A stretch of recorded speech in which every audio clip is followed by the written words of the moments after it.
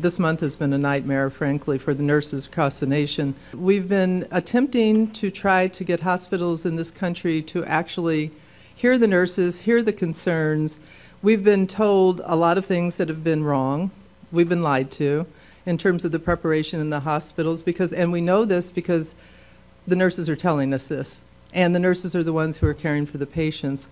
We've been essentially ignored by the White House and by the CDC, and they've been giving the hospital far too much credit in terms of assuming that they would actually take their advice. And we've been grappling with what to do and what can we do and how can we help. And we realized this is outrageous that this is our responsibility. This is the responsibility of our elected officials to actually protect this nation.